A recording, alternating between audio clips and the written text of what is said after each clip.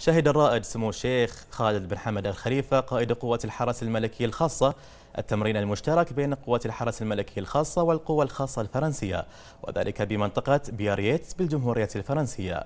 هذا وقد اشتمل برنامج التدريب على تنفيذ سلسلة من الأنشطة, الأنشطة العسكرية التي تشكل استخدام أحدث التقنيات والنظريات المتقدمة التي تسهم في رفع مستوى الفكر العسكري للقادة العسكريين والأفراد في كلا البلدين.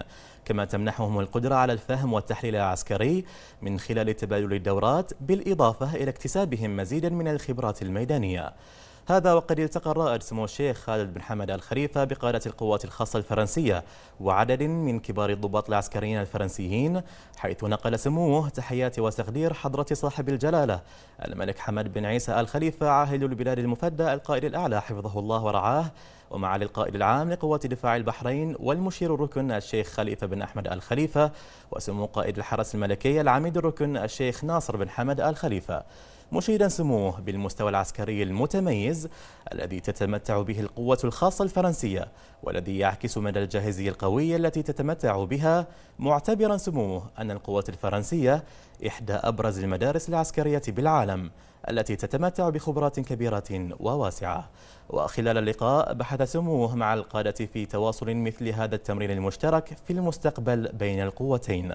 وقد أكد سموه أن هذا التمرين يأتي تنفيذا لتوجيهات القيادة الرشيدة والقيادة العامة لقوة دفاع البحرين وسمو قائد الحرس الملكي لرفع مستوى الأداء والكفاءة والعمل بروح الفريق الواحدة لقوة الحرس الملكي الخاصة وفق استراتيجية وفق استراتيجية واضحة المعالم تهدف إلى الارتقاء بالمستوى العام والجاهزية وذلك للتعامل مع الأجهزة والتقنيات الحديثة بكافة العمليات.